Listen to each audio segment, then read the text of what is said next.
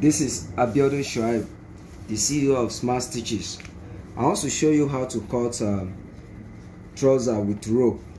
And this is the measurement needed for it for the trouser I'm about to cut. I'm not within measured waist because since it's rope that's why we didn't measure the waist. But we are starting from the hips.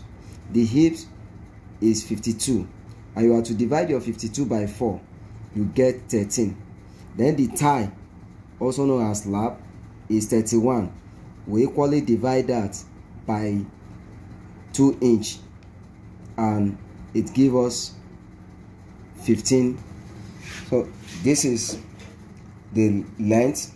The length is 40 inch inches. So we are adding 5 inch. We're adding 5 inches so and it will give us 45 give us 45 this is um waist to the nail. The waist to the nail is 22 then this is ankle. The ankle is 16 we divide it by 2 and give us 8 this is a crotch. I make the crotch 15.5 i normally make use of 14 but i'm making use of 15.5 due to the person's height and uh -huh, the person's body. So this is the nail circumference. The nail circumference for this measurement for this person is 25 and i divide by 2 i get 12.5 now i will show you how i'll transfer the measurement now on the the, the paper cut. Thank you. Watch. So like i said it's already been marked. It's already been marked but i'm going to analyze it for you how i arrive this uh, measurement and my marking scheme here. So this is from the edge here. I take my measurement this is 40 you can see it this is 40 but i'm starting from the length. This is 40 and i like i said i add 5 inch and it gives me 45 then i'll now come up here to minus uh 2.5 for the folding. And the reason why i added 5 inch is because i'm going to fold from the up and i'll also fold from the band the from the ankle 2.5 from down and 2.5 from the up. So now remember i say i don't measure waist for rope trouser. I only measure the hips. So the hips that i have is 52 i divide it by by 4 and it gives me 13 13 then i will have to come up. Then i mark i mark my 13 down. I mark it down. Then like i said remember i said my crotch is 15.5 here is the 15.5 that is the crotch line. Then here is my nail line. You can see 25 here but if i take it from that to if i minus the 2.5 that i that i will fold that i will fold you can see is 22 then i get my 22 and bringing it down you can see 40 here. And this 2.5 remaining here will be for the folding. Then i also come down. I take out 2.5 where i will fold and i mark out my ankle. But before then i have to take off 1.5 from the side from this side. I'll take minus 1.5 and i mark through. You can see i give it shape down to the above nail i give it shape then i'll now divide the ankle. Remember i say the ankle for this measurement is 16 i divide it by 2 i have my 8 here i just bring my hand i extend my hand a little bit so that it won't disturb my folding when sewing. Then i equally come to the nail line the nail length that is from the waist to the nail. Then i measure my nail circumference.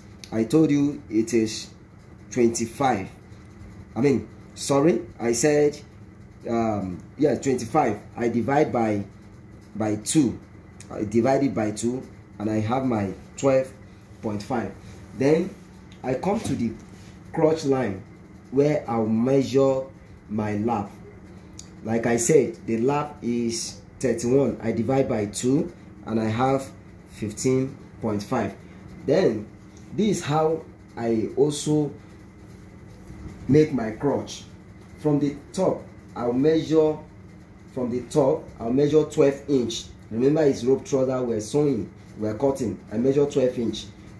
In cutting zip trouser this is how not how we make the crotch. The crotch will not be as long as this. But when in the next video i will put i will show you how to make that one.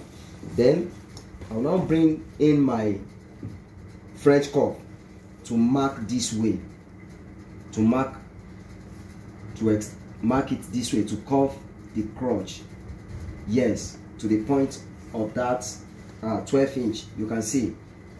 Then I'll bring it up and roll it all through. Remember this will be for folding. And this is my lap. This is the lap the knee circumference and the ankle circumference. Now you can see I've cut it out now. Now I'm about to transfer this uh, front block trouser into the fabric then I'll cut. So I place it on the fabric and I cut it out. You can see this is the front trouser. Is into two. So I will now cut the back. I'll transfer this one now uh, into this other fabric to cut the, the back. So I've transferred the front part on the fabric in order to cut the back. But now I want to quickly show you this remember it's rope trouser we're cutting trouser with rope that we're cutting. So look at here this is the front side and this is the side the side this is the front part. Now at the front part i increase three inch different three inch different here. Then at the top i also add 2.5 behind.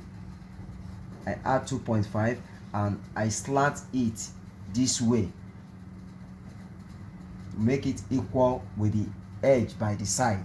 Then i bring it this is the back side. As you can see the measurement is 3.5 different for seam allowance. Remember when cutting the front we didn't add any seam allowance so we are now bringing the seam allowance at the at the back to add at the back. Then from the lap line or the also known as the tie i add 3.5 here. You can make it 3 inches not bad but i'm adding 3.5 uh, due to the size of this person so that you have enough allowance. Uh -huh. so you can equally make use of 3 inch but i'm making use of 3.5 then at the nail line i add 2.5 then at the ankle i add 2 inch i add 2 inch. Then i will cut off here now. You can see the marking i'll cut off here.